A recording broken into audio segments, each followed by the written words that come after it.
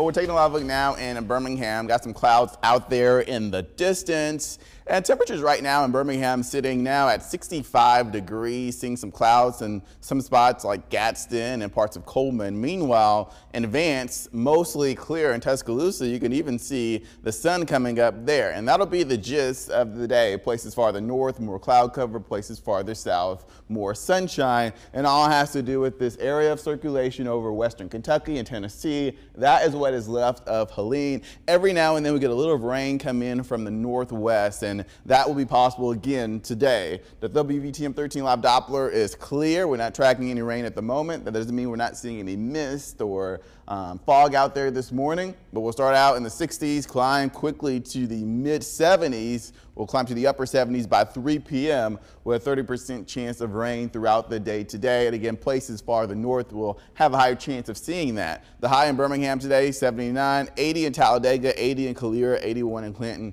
82 there in Brent. Places farther north in the 70s, 71 in Gaston, 71 in Jasper, 77 Fayette, close to 64 up there in Cullman where there is more cloud cover. But as we move through the day, that rain chance is going to be north and west of I-59 that 30% chance of rain. Now washed out, but showers possible at times, enough to have a rain jacket and umbrella handy just in case. Now we're looking at the tropics. Got a lot to talk about. For starters, we have a Category 2 Hurricane Isaac out in the Atlantic Ocean. As you can see, it was a Category 1, but it strengthened to a Category 2 recently. We also have Joyce out here in the Atlantic. This red area behind Joyce, that has a high chance of developing into a tropical storm. That tropical storm would be Kirk. Then out in the Caribbean and parts of the Gulf of Mexico, places closer to home, we have a medium chance of this area developing into some sort of tropical depression, tropical storm. If it does develop into a storm or even a hurricane, it would be named Leslie. But we'll keep an eye out on that. Where would it eventually go? Well, as you can see, it's kind of headed towards the Gulf of Mexico.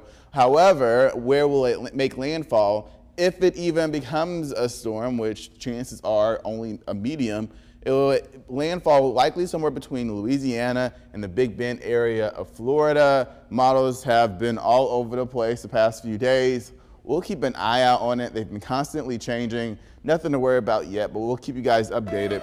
Here's your seven-day forecast. We'll climb to 78 today. We'll wake up in the lower 60s tomorrow and then climb to 82 Monday and then 86 by Wednesday when a cold front makes its way through, drier, warmer air rolls in by Thursday, and we'll keep an eye out on the tropics towards the end of the work week.